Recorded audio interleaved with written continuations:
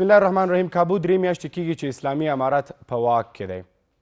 اوس دوی په نړیوالو دا غږ کوي چې دوی باید په رسمیت وپیژندل شي ځکه د نړیوالو ټول شرطونه یې منلي دي خو لا تر اوسه د نړۍ یو هیواد هم طالبان په رسمیت نه دي پیژندل اوس پوښتنې دا دي چې آیا دوی په رښتیا ټول شرطونه منلي دي اوس نو باید نړیوال دوی ته څه ځواب ورکړي په ننۍ خپرونه کې په همدې موضوع باندې تم کیږو سلام زه بلال مشلم او تاسو د شمشاد تلویزیون څخه د محراق خپرونه ګورئ په خپرونه کې را سره د مسکو څخه یحیی چاوش د درېیمې کرښې مشر او د امریکا څخه حبیب هوتکی سیاسي شنونکی په خپرونه کې میلمانه دي ستړي مسئ په خیر راغلی خپرونه ته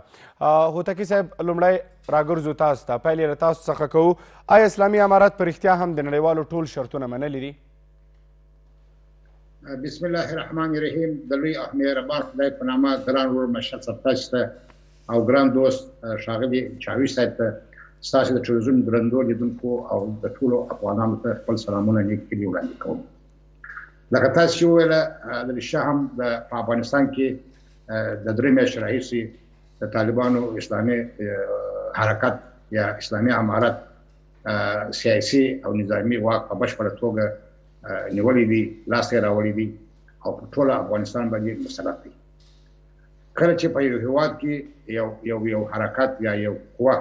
سیاسي واک په لاس کې نیسي نظامي واک په لاس کې نیسي نو لازمه ده چې د جهان هغه ستر هوادونه په لومړي سر کې یا په دوام سر کې او ملګرو ملتونو هغه په رسمیت وپیژني نو هغه سره راشي درشي ولې متاسفانه د اوس پورې د نړۍ یو هیواد هم په رسمي توګه په رسمي توګه افغانستان په رسمیت نه دی پیژندلی ولې په غیر رسمي توګه سره افغانستان تقریبا د څو هیوادونو لخوا څخه په رسمیت پیژندل شوی دی چې د هغو څخه یوه روسیه ده چین دی قطر دی د اسیا میانه یو هیواد ترکمنستان دی خو تکي صاحب ولې په غیر رسمي ډول ولې په رسمي ډول نه دی پیژندل شوی دلته یو لوی معضله چې ده هغه د امریکا او د افغانستان د طالبانو ترمنځ ده کله چې په دوحه کې د طالبانو او امریکایانو ترمنځ د سولې خبرې پیل شولې هلته پر څلورو شانو باندې موافقه وسوله چې باید دغه څلورې موافقې سرته ورسېږي ولې متاسفانه شرایط داسې راغله چې دغه تړون عملی نه سو تړون په نیمه لارې پاتې سو امریکا په ډېره بې صبرۍ سره د افغانستان ووتله د امریکایانو په په فکر او ان باندې چې امریکا په افغانستان کې ماتې خوړلې ده نو اوس د امریکا حکومت د افغانستان د امریکا د عامه افکارو تاثیر لاندې ناس دی لاندې دی ځکه امریکایان حکومت ته وایي چې تاسو لا لاس شل کال افغانستان ته التمو د طالبانو نظام نسکور کی التمو په زرګونو افغانان ووجل التمو بمونه واچول افغانستان مو خراب کی ورسره شل کال څخه راووتل است بیرته افغانستان له صفر نقطې ته راوستي او په افغانستان کې صاحب تاسو په اند آیا اسلامي امارت د نړیوالو شرطونه منلي دي که نه ځکه دوی دا ادعا کوي چې دوی د نړیوالو ټول شرطونه منلي دي او عملي کړي دي یو اجازه ما تر اخیسته خپل جمله زه پوره کړم بیا به هغه هغه تر اخیسته دلته د شرطو خبره نه ده دلته نورې خبرې دي نورې خبرې دا دي چې امریکا اوس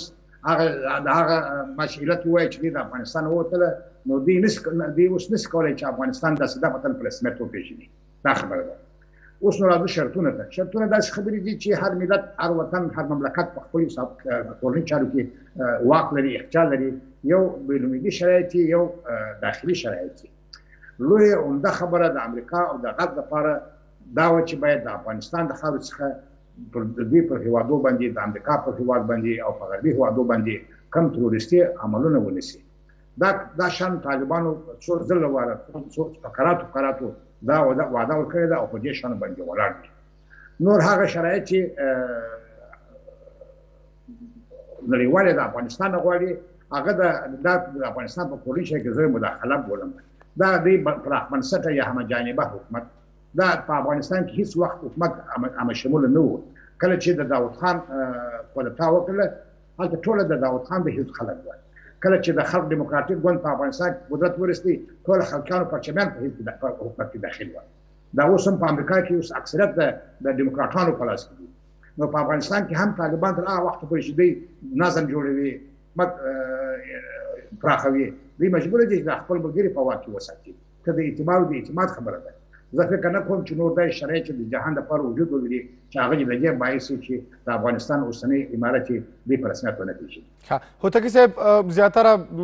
نړیوال هیوادونه چې دی هغوی په ټول شموله حکومت باندې ټینګار کوي او وایي چې اسلامي امارت باید یو ټول شموله حکومت رامنځته کړي خو له بلې خواته تاسو یادونه وکړله چې په افغانستان کې لا تر اوسه ټول شموله حکومت نه دی جوړ شوی او دا د افغانستان په داخلي چارو کې لاسوهنه ده څه فکر کوئ په راتلونکي کې به څه وشي دا ځکه هغوی دوی خبر نه مني او دوی د هغوی خبر نه مني نو په راتلونکي کې به څه وشي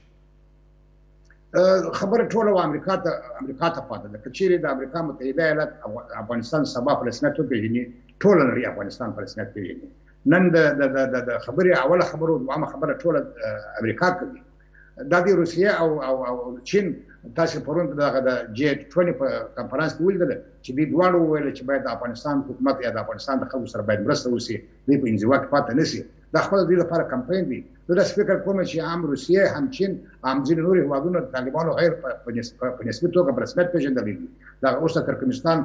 د بهرنیو چارو وزیر کابل ته راغلی دی. هغه سره د ټاپي په موضوعاتو باندې خبرې کوي. کله چې یو دولت په رسمیت پېژندل شوی نه وي، نو بیا څه ضرورت لري چې د هغه سره په بهرني تجارت باندې خبرې وشي. دغه جلغوزې چې چین ته صادرېږي، دا د افغانستان د اوسني حکومت او د چین د حکومت د موافقې او د تړون له مخې امضا کېږي. یعنې غیر مستقیم افغانستان په رسمیت پېژندل شوی دی. دغه د روسیې سفرونه، دغه د روسیې د چارواکو اظهارات، دا ټوله دا معنا لري چې د یو افغانستان یو مستقل حکومت دی او د طالبانو حکومت رسمیت لري. دا چې د کاغذ پر مخ باندې نه دی نه دی لیکل شوی او هلته اعلان شوی نه دی او هغه امریکا چې د اوسني رژیم اوسني حکومت سره ځینې مشکلات او ستونزې لري کله چې دا ستونزې حل شوې زه فکر کوم چې بل داسې کومه خاص خبره وکړم مننه هوتا کې سب بیرته راګرځو چاوش صاحب ستړي مې تاسو هم خبرونه ته په خیر راغلی تاسو په اند اسلامي امارت ولې په رسمیت نه دی پیژندل شوی لا تر اوسه پورې بسم الله الرحمن الرحیم سلام به شما سلام به همه کارکنای تلویزیون شمشاد و بینندای عزیز, عزیز شما و سلام به دوست عزیز و گرامی من جناب آتکیسی این مسئله از قرار است که طالبا در شرایط فعلی هنوز راه طولانی تا شناخت دارند که کشورهای جهان یار به شناخت بشناسه در قدم اول فعلا چهار مسئله عمده پیش روی طالبا قرار داره که طالبا باید به این مسائل توجه کنند موضوع اول عبارت از است که طالبا باید کوشش کنند که نامهای رهبرای از از لیست سیاه سازمان ملل متحد خارج شه این مسئله بسیار مهم است مسئله دوم موضوع مبارزه با تروریسم است در داخل افغانستان یک موضوع بسیار جدی است حاد است و خصوص یک خطر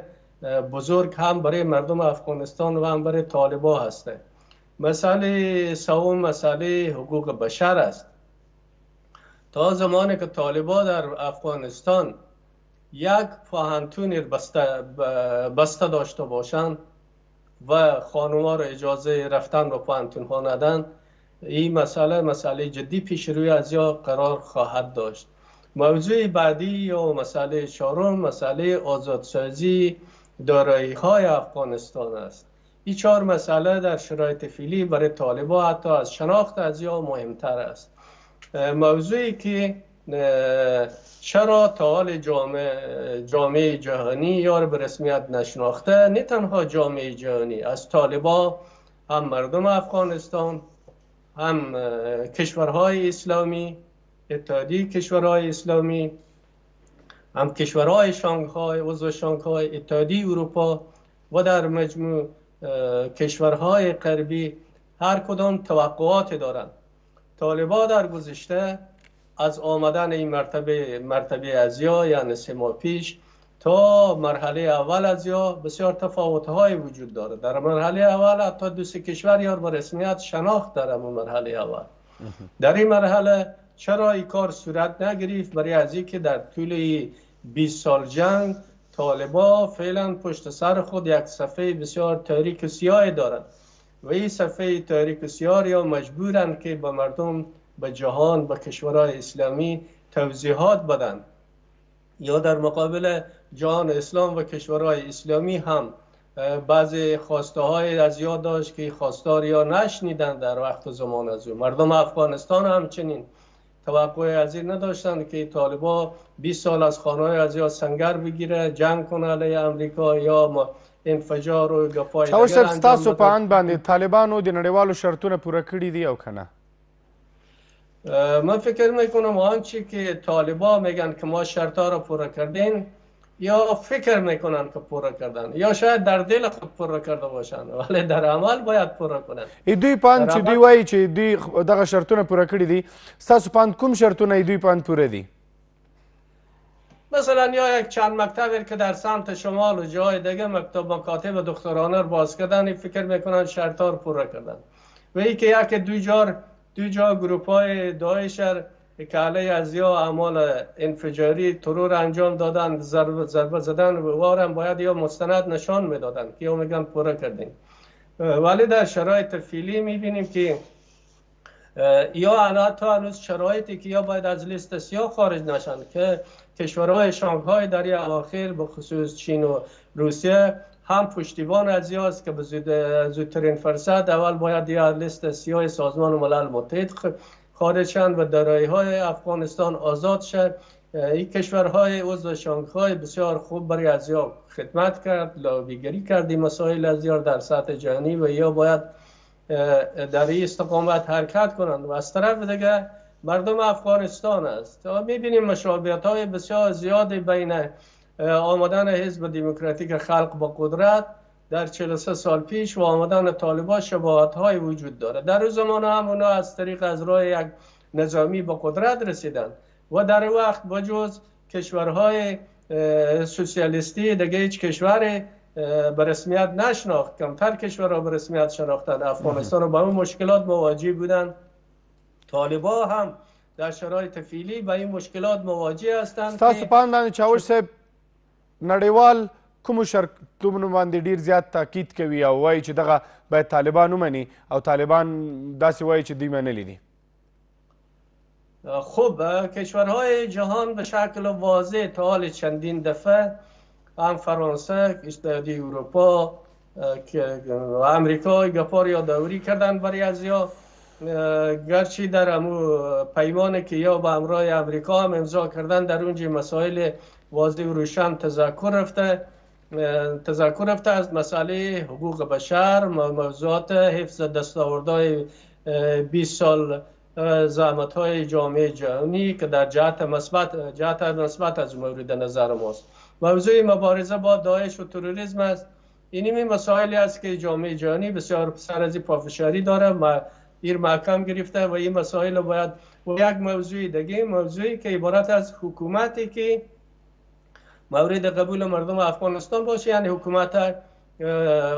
وسیل بنیاد یا حکومت بهتر بگیم حکومت مسلکی حکومتی که متشکل از همه مردم, مردم افغانستان گفته نمیتونین ولی اقشار روشن فکر اقشار پیش مسلکی متخصص باید در دولت سهیم باشن دولتی که بتنه تمام بخش هاره رهبری کنه بت صلاحیت داشته باشه مدیریت کنه چاوش صاحب ستاسو په اند دا اوسنی دولت د طالبانو ټول شموله دی او که مسلکی دی در شرایط فعلی دولت فعلی که میبینین این دولت نه همه شمول است و نه مسلکی است گرچه طالبان میگن که ما در صفوف خود توسط تمام اقوام و میلیت ها داریم گپ علیده است در شرایط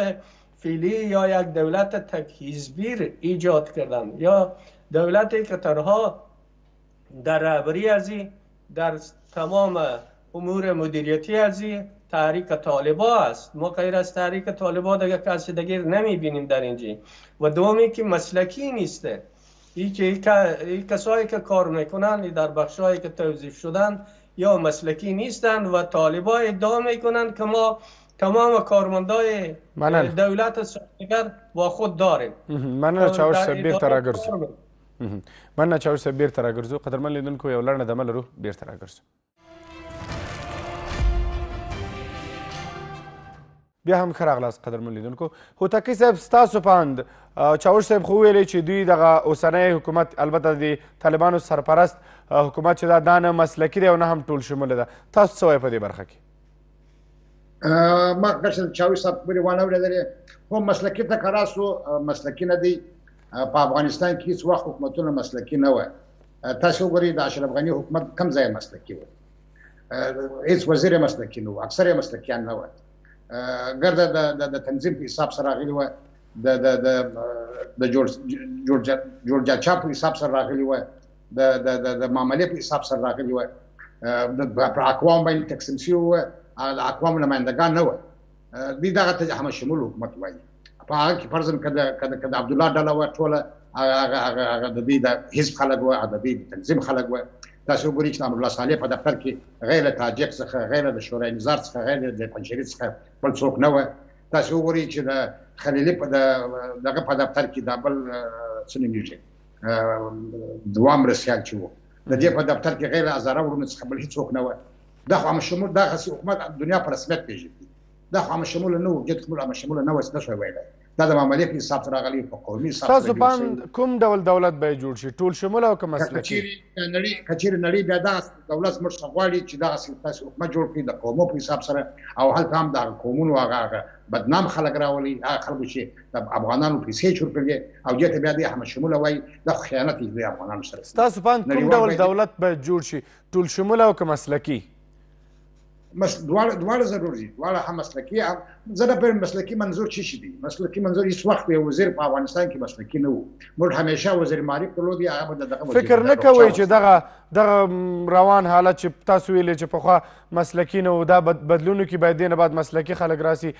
هغه خلک چې کدرونه دي هغه باید مخته راسي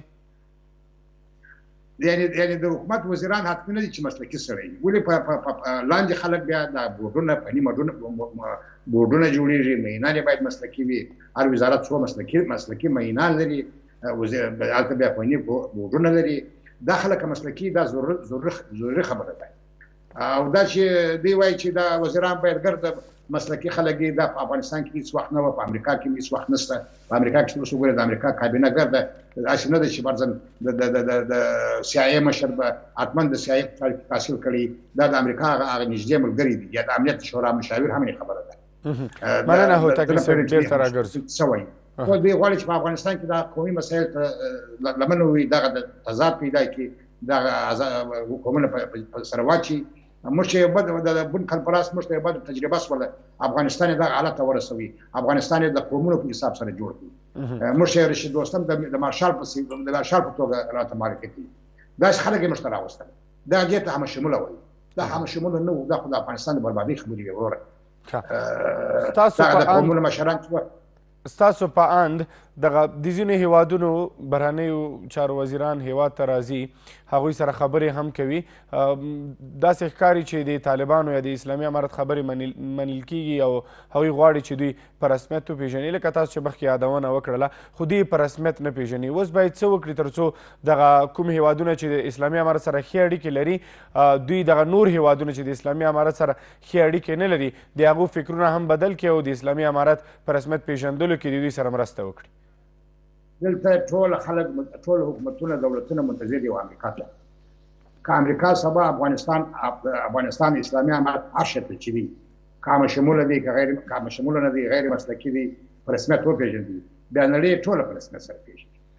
دا دا ځای شرط دا خبره چې تاسو زه کوم دا کار اتمن ولې نن ورځ د طالبانو د اسلامي امارت او د امریکا ترمنځ جنجالونه وجود لري ما مخکې عرض وکړي امریکا نش کولای چې د دفتن د افغانستان اوسنۍ حکومت پر رسمیت وبېژني علت همدا دی چې امریکا را افغانستان ته شل کاله جنگ وکړي په میلیونو ډالر یې مصرف کړل د طالبانو حکومت یې د منځه یووي بمونه یې واچول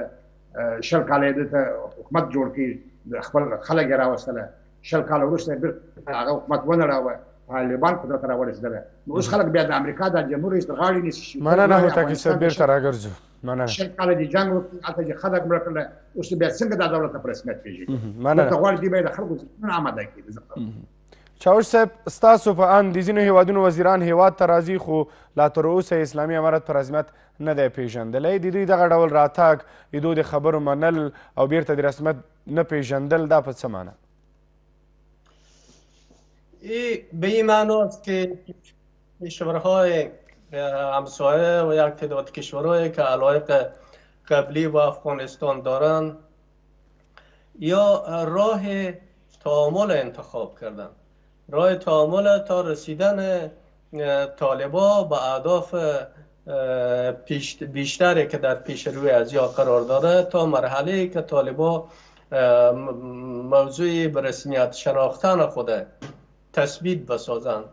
و شرایطش آماده بسازند و این کشورها نمیخواهند از راه تقابل ادامه بدن با طالبان میخواهند تعاملات داشته باشند روابط داشته باشند روابطشان قطع نشه تا سبب این مسائل جلوگیری از رشد تروریسم در داخل افغانستان بشه همین لحظه اگر هر چند فشار سر طالبا بیایه جامعه جهانی طالبا را به فشار بده ببره ای خود به خود زمینه برای رشد تروریسم در افغانستان مساعد میشه هر کدر که کشورها تعامل داشته باشند نزدیکی و روابط با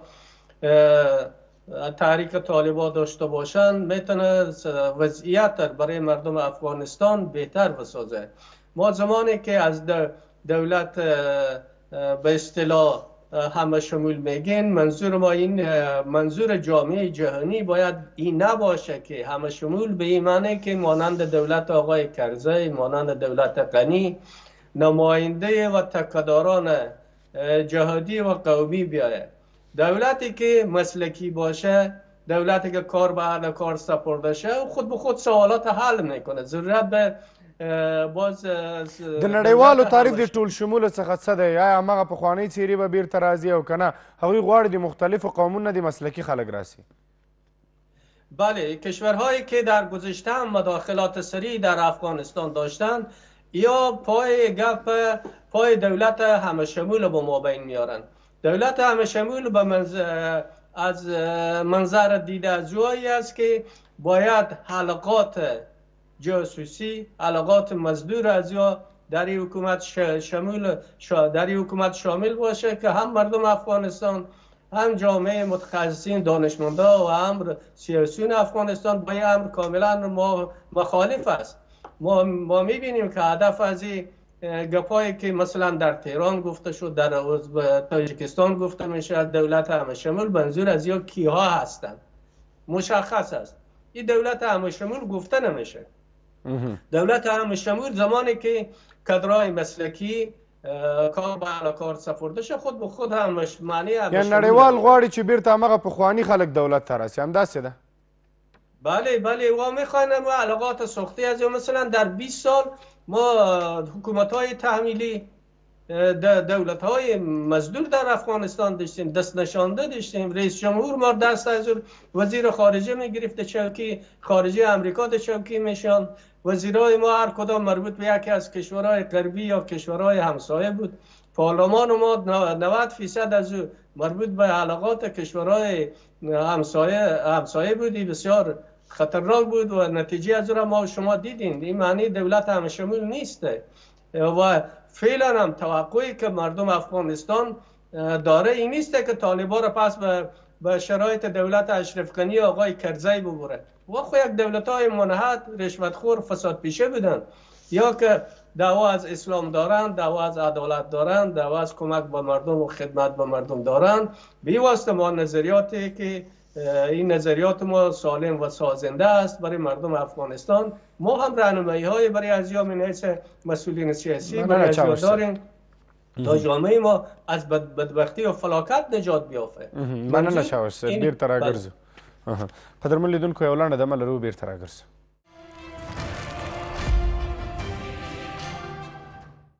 بیا هم ښه راغلاست قدرمن لیدونکو هوتکي صاحب اسلامي امارت وایي چې د امریکا ځینې فشارونه نړۍ دې ته نه پرېږدي چې دوی دې په رسمیت وپېژني همدارنګه دوی وایي چې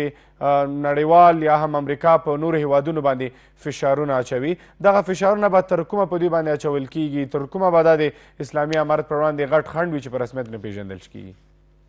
بله خو ما مخکې وویل چې مال ټوله نړۍ و, و, و امریکا ته ګوري کله چې امریکا د افغانستان اوسنۍ دولت په رسمیت وګوري دا فشارونه به تر کومه یې په دوی باندې دا فشارونه زه فکر درا وخوري چې د امریکا عامه افکار وجه ته آماده سي زه فکر نه کوم چې د امریکا حکومت د طالبانو سره د پرسمې پیژندلو کې کومه ستونزه ولري ولې د دې د عامه افکارو د امریکا عامه افکار د امریکا حکومت د امریکا د عامه افکارو تاثیر لاندې لاندې دي اما افغان ورته وایي چې تاسو لاړه افغانستان ته شل کاله جنگ وکړي ما په فانی خبره ده دا هغه دولت تاسو د منځه یوړي په میلیونو امریکایانو مړ کړل په میلیونو پیسې مصرف کړې امریکایانو مړ کړل اوس بیا څنګه دا ژر په رسمیت پیژني دا لپاره دی به ذهنیت سازي وکړي ذهنیت باید آماده کړي په دا باندې کار روان دی زه فکر کوم چې نورې داسې غټه خبره وي امریکا په خپله وغوښتله چې دغه د سولې خبرې شروع کړي دغه جګړې ته خاتمه ورکړي امریکا نور په افغانستان کې سړې سولې د جنګ توانې نه درلودي نو دغه علت چې دی زلمی خلیلزاد موزت موزت کی چې باید طالبانو سره د سیمې او نړۍ نور هیوادونه د اسلامي امارت سره څه رقم مرسته کولی شي چې امریکا دې ته یعنې قانع کړي چې طالبان یا اسلامي امارت دې په رسمیت وپېژندل شي دا اوس خو موږ ګورو چې د چین روابط بیخي د د یو رسمي د پیژندل شوي دولت په شکل دي د افغانستان د حکومت سره د د روسیې هغه عین خبره ده دا نن ما په د جی 20 په کانفرنس کې وردل چې هم چین او روسیه اعلان وکړي چې باید د افغانستان اوسنی حالت په دغه حالت په پرې نه شول چې حکومت په انزوا کې پاتې نشي باید د دې سره مرستې وکړو دغه د یو سل پنځه پنځوس میلیون ډالر مرسته امریکا اعلان کړې ده دا انګلستان چې اعلان کړل دغه د بهرنی چارو د بهرنی هوادونو لوړ رتبه هیئتونه چې افغانستان ته راځي دغه د افغانستان لوړ رتبه هیئتونه چې و بهر ته ځي دا خپل نیمه پیژندنه ده نیمه پیژندنه د هیوادونو د په سیاسي تعاملاتو کې تاسو او تکي صاحب د مرستو یادونه وکړه مرستې اعلانیږي خو راوړل کیږي نه افغانستان ته لا تر اوسه یعنی ډیر کم که راغلي به هم وي نو ډیر کم راغلي دي نو داسې ویل کیږي چې مرستې نه دي رارسېدلې افغانستان ته نو دغه مرستې باید څه ډول او په کوم میکانیزم باندې افغانستان ته راورسیږي زه فکر کوم چې پر دا د سولې پر میکانیزم دغه د پیسو د رسولو په میکانیزم باندې کار روان دی د دې لپاره باید یو لار پیدا شي دروس پرې خبره ده چې د دولت په رسمي توګه نه پیژني لوی لوی تشویش د بهر د دې څخه دی چې که چیرې دغه پیسې و افغانستان ته ځي دغه د دغسې کسانو لاس ته ونه لویږي چې هغه د امریکا دښمنان دي د غرب دښمنان دي د هغه د دغه پیسو څخه بیا د امریکا په ضد باندې کار واخیستل شي امریکایان ډیر کوشش کوي چې دغه پیسې د تاسو خپل نظر لاندې راوړي تاسو باور وکړئ کله چې د امریکا څخه موږ که افغانستان ته 200 300 ډالر لريږو موږ څخه پښتني کیږي دا تاسو ولې لري چا چې لري ادرس څه غواړي زموږ ادرس ته غواړي یعنې دغه شان دی ډېر دقیق لاندې نیسي دی نه غواړي چې دا پیسې د دې په فکر سره د تروریستانو یا د داعش خلکو لاس ته ولوېږي هغه سلاوي رانیسي او بیا دغه د دې پیسو باندې د افریقا باندې دی حمله وکړي دا خبر هم دې څخه ده تر څو چې دی ډېر متيقن نشي په دا اوسنی حکومت باندې دا حکومت دی باندې ډېر باور پیدا نه کوي دا پیسې به درې وخت پورې به فکر کوم چې مننه هوتکي صاحب بیرته راګرځو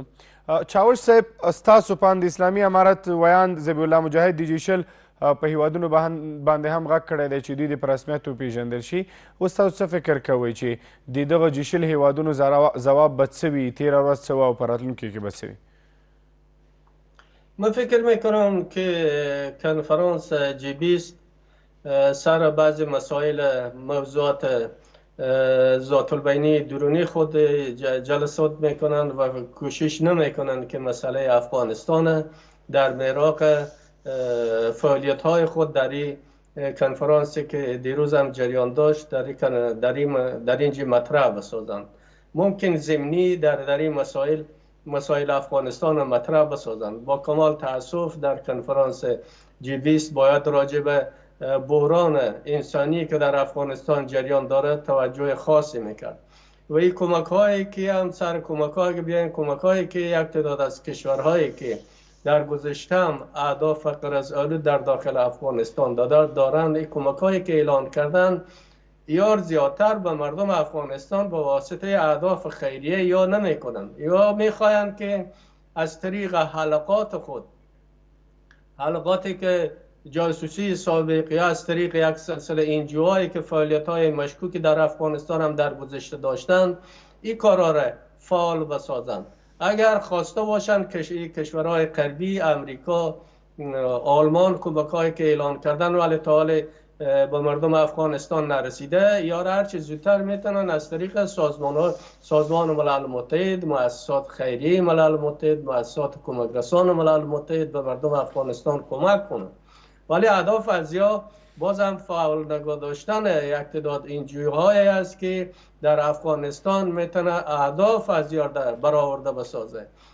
امی امروز میبینیم که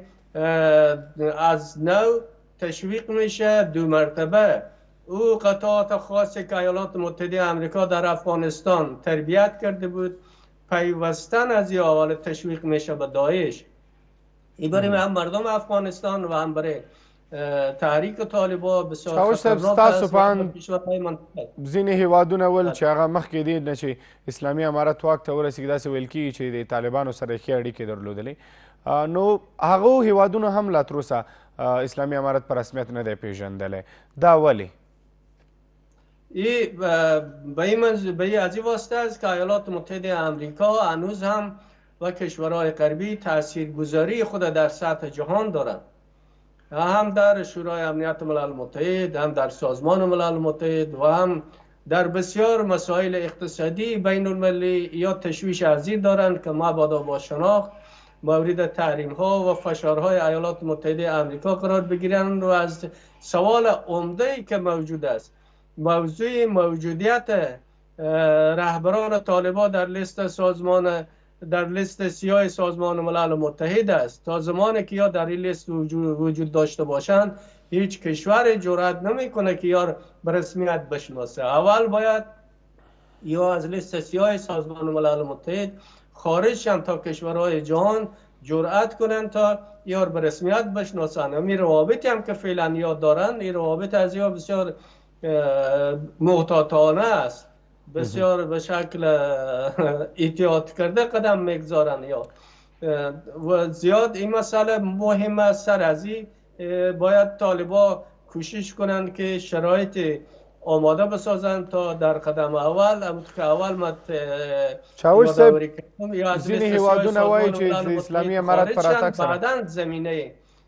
تماس های بیشتر ملاقات های بیشتر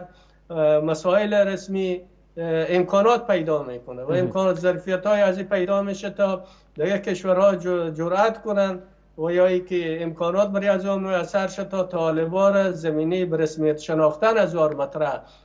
بسازند در شرایط فعلی این مسائل باید گام به گام پیش بره گام به گام شروع شه از مسائلی که ځینې هیوادونه دا اوس هم د اسلامي امارت په خلاف ځینې څرګندونې کوي ځکه هغوی وایي چې په افغانستان کې ښځې د پخوا په پرتله ډېرې زیاتې محدودې شوې دي او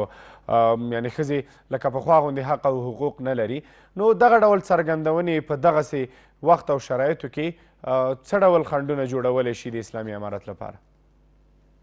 خود زیادتر کشورهای وضعیت افغانستان بسیار متشنه جلوه میدن و وضعیت رو میخواین بیشتر گلالود بسازن تا ای که منافع خود از یا در افغانستان حفظ شه منافع از یا در افغانستان تامین شه و این کشورها مثلا واضح بگین در قدم اول تاجیکستان نخواست که افغانستان حتی در کنفرانس شانگهای شرکت کنه کنفرانسی که در در دوشنبه دایر شد مثلا همین موضوع سبب از این میشه که باز هم انگشت به طرف خود از یا دراز شه برای از خود از یا گفته شه که در کشورهای شما کجا این مسائل که شما ادعا دارین مطرح هست یعنی این مشکلات در همه کشورهای خود از یا وجود داره همین اکنون اینها باید کوشش کنن که با وضعیتی که در افغانستان آماده مردم افغانستان و جهان در مقابل یک عمل انجام شده قرار گرفته این عمل انجام شده یک تغییری است که در افغانستان آماده یک چرخش است از یک طرف موضوع ختم اشغال است افغانستان از 20 سال 20 سال اشغال نجات یافت افغانستان از تجزیه نجات یافت افغانستان امروز در با امنیت به سر میبره اگر با تروریسم مبارزه جدی صورت بگیره با وجود پاینت های منفی که فعلا زیاد میبینین در رابطه به حقوق بشر ولی پوینت های مثبتی هم وجود داره که در جهت منافع ملی افغانستان کمک های کرده اسلامی امارت په رسمیت پیژندل او یا هم د هغوی په رسمیت نه پیژندل د چا لپاره تر ټولو غټه او لویه ننګونه ده طالبان او که د نړۍ هیوادونه من فکر میکنم ای بیشتر از همه برای مردم افغانستان بسیار ضرر وارد میکنه و قدم دوم با طالبا و جهان هم با مشکلات مواجه است افغانستان تنها با تروریسم مبارزه کرده نمیتونه این برای یک خطر برای جهان ایجاد میکنه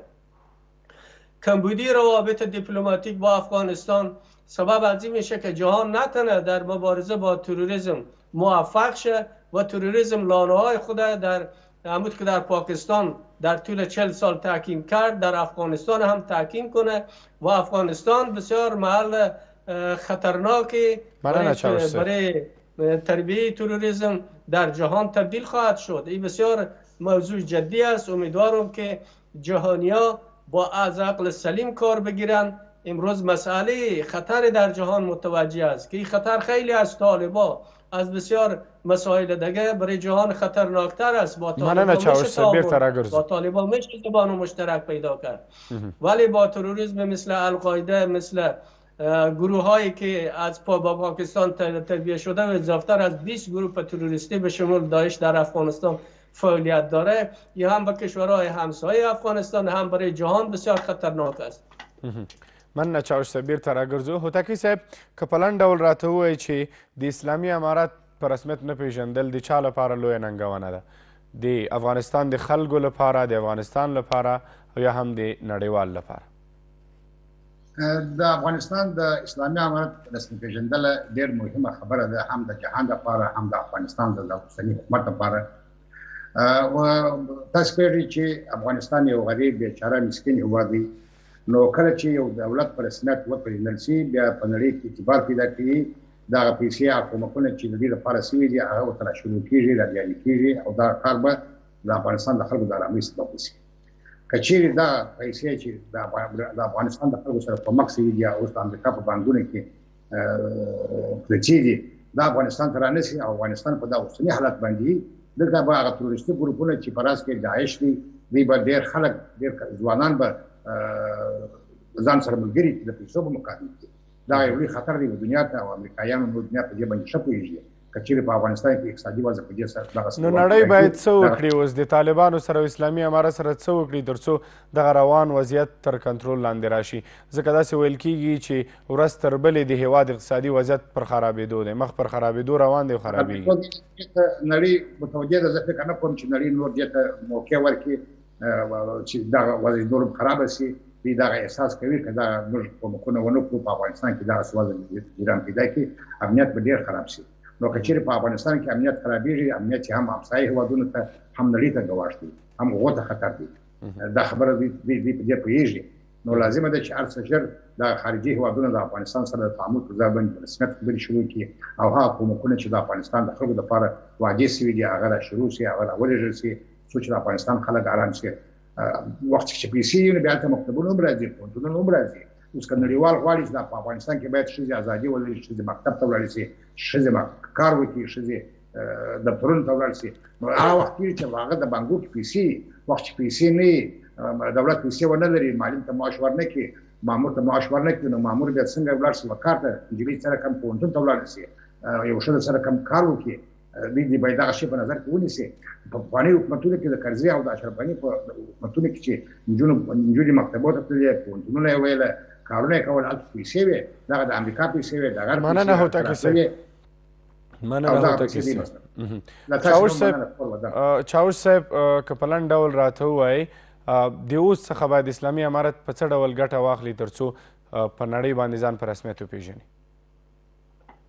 من فکر میکنم بیترین شانسی که برای تحریک طالبا در شرایط فعلی در سطح جهانی مساعد شده او عبارت از فرمات, فرمات مسکو و کشورهای شانگهای است به شمول کمک های هم که قطر و یک عربستان سعودی هم نظریات مثبت راجع تحریک طالبا داره باید حد اعظمی از لابیگری از این کشورها استفاده کنند از یک طرف از طرف دیگر خود تحریک طالبا هم باید زمین سازی کنند خواسته های جامعه جهانی خواسته های مردم افغانستان و خواسته های کشورهای اروپایی که در راستای بخشای مبارزه با تروریسم بود حقوق بشر بودی مسائل ضروری و عاجلی است که در شرایط فعلی طالبا باید در نظر داشته باشند طالبا باید از نیروهای داخلی در داخل افغانستان استفاده کنند از و مردم افغانستان از شخصیت های ملی متخصصینی که فعلا برای به خدمت به وطن حاضر و آماده هستند باید استفاده کنند ډیره زیاته مننه چاوش صاحب ډیره زیاته مننه هوتکی صاحب له تاسو څخه هم مننه کور ودان روز شما خوش وخت شما قدرمن لیدونکو دا و زمونږ د نن خبرونه تر بیا مو الله مل ښې چارې له لیدلو مو مننه